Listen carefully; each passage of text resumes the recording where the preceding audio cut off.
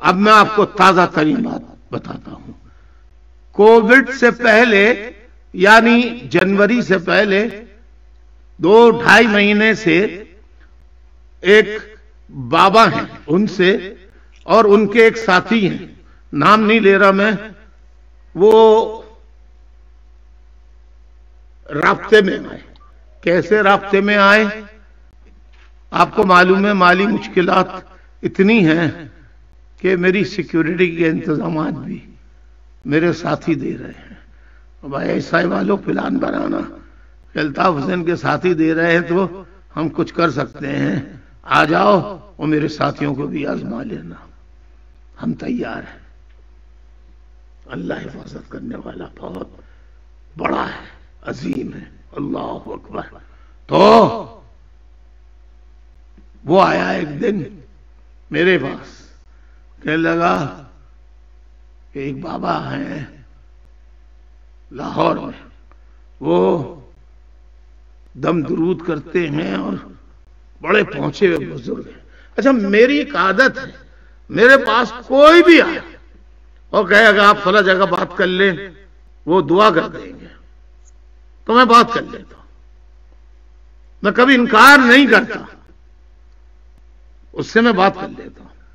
तो मैंने कहा क्या करा लो। हाँ नहीं। रात के दो बज रहे थे लंदन या, या एक बज रहा था या बारह बज रहे थे। मैंने कहा इस वक्त वहाँ पे तो चार चार बज रहे होंगे। कहने नहीं वो तहजद वगैरह पढ़ते हैं और रात भर पढ़ते हैं जागते हैं। अभी जाग रहे हैं वो अच्छा मुझे नहीं मालूम था कि वो बाहर पहले से बातचीत कर चुका है। मुझसे बात करा दी उन्होंने। बात होते होते होते, बहुत लंबी बात हुई, उस तफसील में जाना नहीं चाहता। बात इस पर खत्म हुई।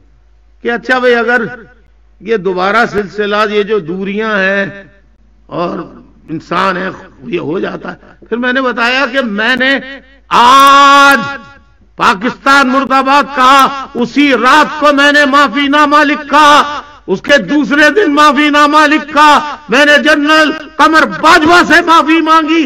मैंने तमाम फौजी जनरलों से माफ़ी मांगी, जो मेरी तबीयत के खिलाफ था। जो मेरी सोच और फ़िक्र के खिलाफ था।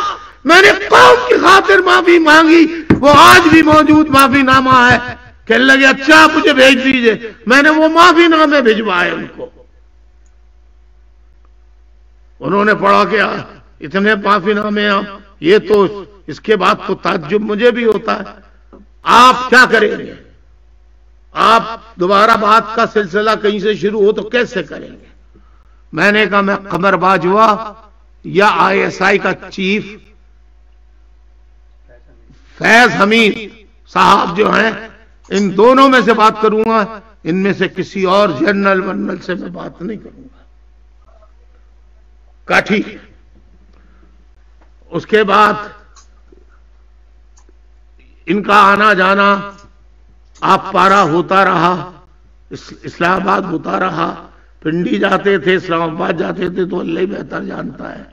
बाबा साहब और ये तय हुआ कि भाई हालात बेहतर होंगे सब कुछ होगा आहिस्ता आहिस्ता। फिर ये हुआ कि 18 मार्च आप मना लीजिए। ये तय हो गया।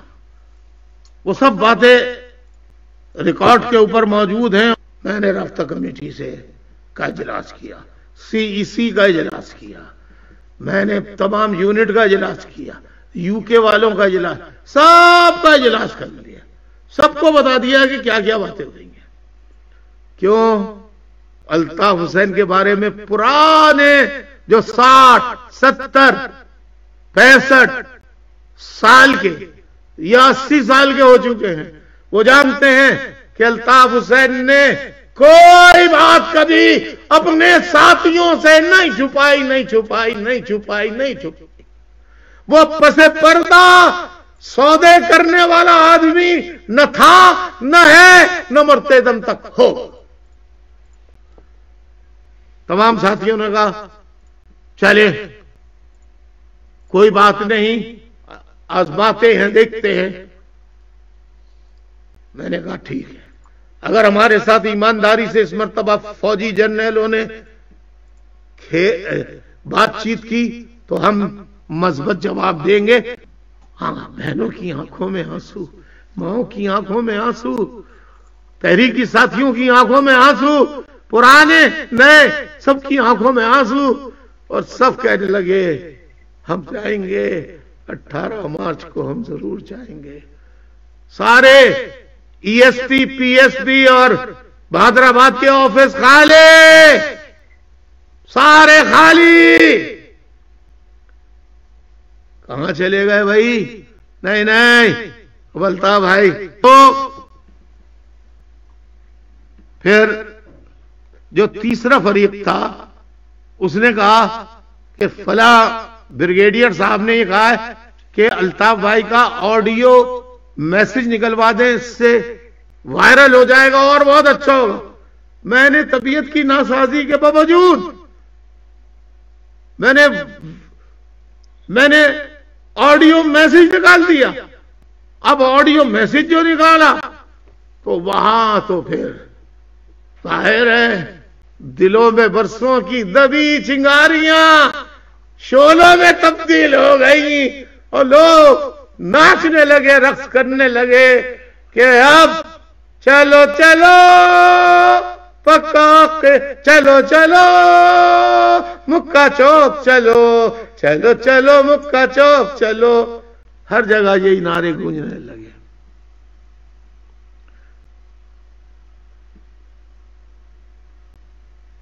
अचानक फिर आया कि नहीं वो कुछ तसादुम का खतरा है इतला मिली है।